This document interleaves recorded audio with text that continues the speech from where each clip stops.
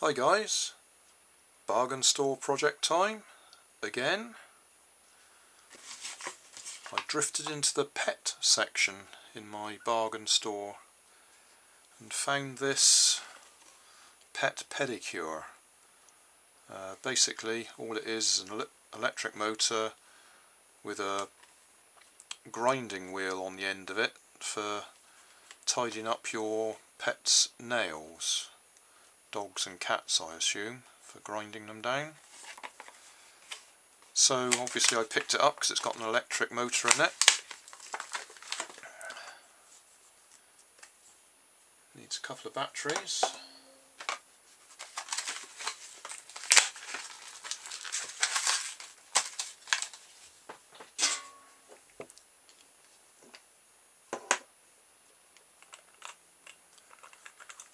two AA batteries.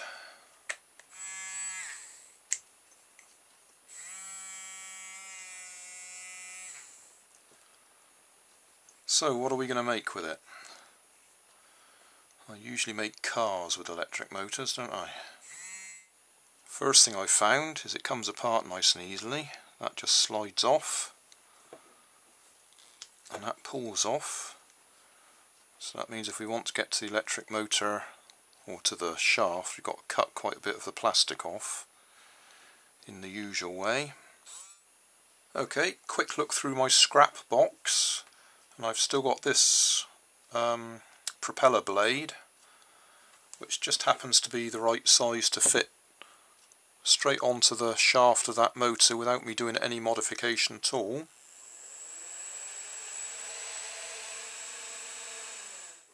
I'm going to bend up a paper clip so that it goes over the, the on-off switch so that I can actually twist it and it'll hold it on.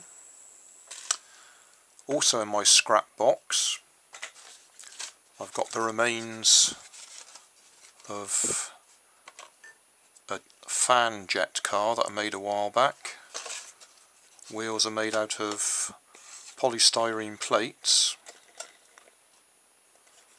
uh, they're on barbecue stick axles or barbecue canes or what you want to call them with drinking straws for the tubes that the axles are inside. So I've got two of them that I don't need to do anything to. So all I'll do I'll take it off of here hot glue it onto here and I'll have another little fan driven car nice quick and simple. Right I've trimmed off the old body work so I can just hot glue that on there. Hot glue the other bit on there.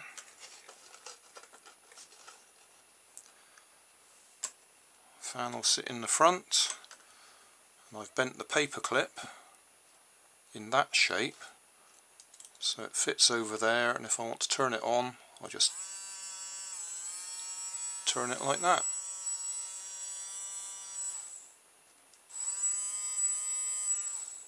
And that'll hold it on for me. Hot glue gun's warming up. We'll glue it together in a few seconds and then we'll go downstairs and test it in the kitchen. For those of us who don't already have a nice fan blade like that waiting this bit of plastic I've cut from a 2 litre pop bottle.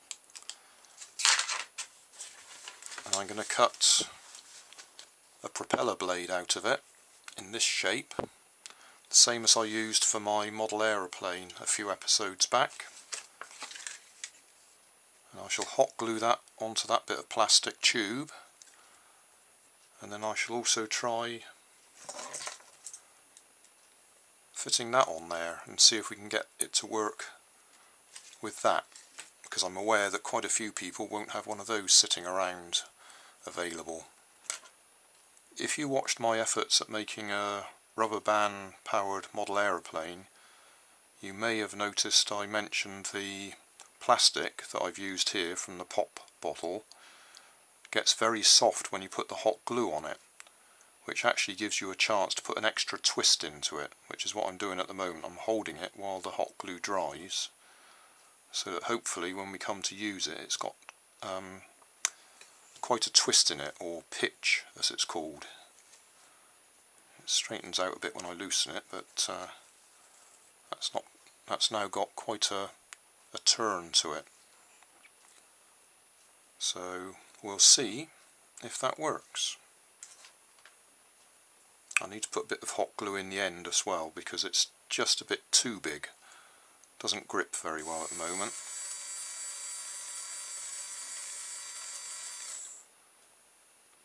So we'll pop a bit of hot glue in the end and that should help it grip. Right, before we can actually try this out, I've got a bit over ambitious with the size of this propeller. It's actually going to hit the ground, so I need to trim it a bit. Okay, time for a test run.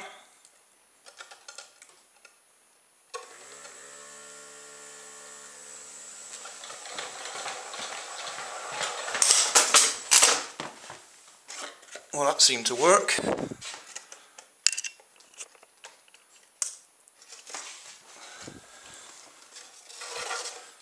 Quite surprised it's still in one piece. Hit the end there quite hard, but we'll let it go back the other way.